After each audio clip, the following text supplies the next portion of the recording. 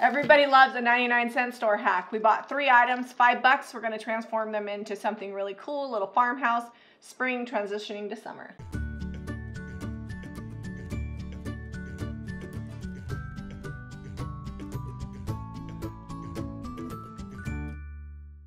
We took this little tin and I sanded it down. So this is what the whole thing looked like before. It was bright and shiny like this, but we only did the outside. We aged it up. With toilet bowl cleaner. We'll put the link above. You ready to craft? I'm ready to craft. All right, so this was $1.99. It came with wheels. We don't need those. It's already stained, so I'm just gonna dry brush it. And while I'm dry brushing it, I'm gonna be using the mint chip on the gnome. This gnome is going green. I'm using White Swan and my zipper brush, Zeb is using the Paint Pixie because that has a ton of detail. So the Paint pixie's good to get down in there. He's got like this fake fur on him. It's, supposed to be moss, I think. We're painting over moss. I'm not sure if you're supposed to do that, but we are. So I have my zipper paintbrush and my DIY White Swan, and I'm just getting off most of the paint. And then I'm coming back and just dry brushing the white on there to give it an aged effect. All right, this gnome is going mint chip here. And this is the hard part, you know, you just paint him mint chip, done. I think maybe don't get it in all the details. I'm gonna I'm gonna maybe go a little drier down here. We might have to come back in wet distress. Yeah, that's what I was planning on doing. Okay. So I'm also dry brushing this tin with White Swan over the top of the oxidized finish that we did.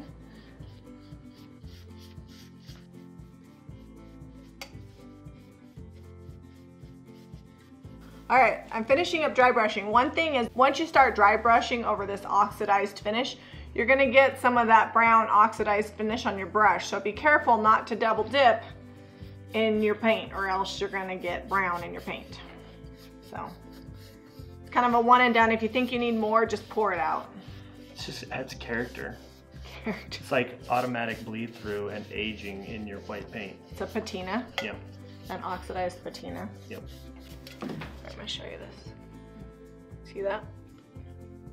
Looks pretty good. All right, hurry up, paint his bum. You think I should dry brush this? I don't know.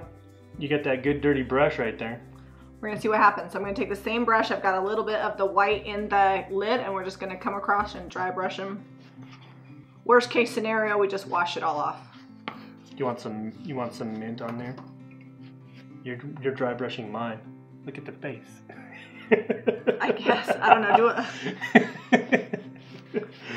oh, you gave the greatest face right there. Well, that was the way I thought about that. I mean, maybe it would look good. All right, let's bring this home. All right, I'm, I'm dry brushing. Just give me a second. Does the gnome go in here? no. What's, the, what's this there. for? Oh, you have a plant to go in here? I'm gonna make it, well, not from the 99 cent store, but. So some of the oxidized got from my paintbrush onto my gnome and gave it a cool aged effect. We're coming back at you with a finished project and our sign out, so don't leave because you're gonna wanna see this all put together. So we used like, what, two ounces of paint? Not even that. I mean, it was literally dry brushing. Yeah, it really doesn't take a whole lot of paint to do this. This is what we got for $5. It needed something in here, so I stole this from my centerpiece. This That's is from IKEA. It's from Ikea. Bam, done. You could even like add something else in there, but I think it's pretty cute. Looks like some old barnwood with a gnome and a rusted planter. Jack's probably gonna want to play with this and take it all over the house. It's cement, so it's not gonna survive. we used mint chip, white swan, a paint pixie brush, and our round zebra, and you can buy all of those items to get this look at jamirayvintage.com. Did you enjoy crafting today? Yes, I love crafting, especially little gnomes. That's my favorite. You're a crafty guy. Be sure to hit that notifications button so you don't miss our next DIY. Give us a thumbs up and subscribe to Jami Ray Vintage for more. DIY.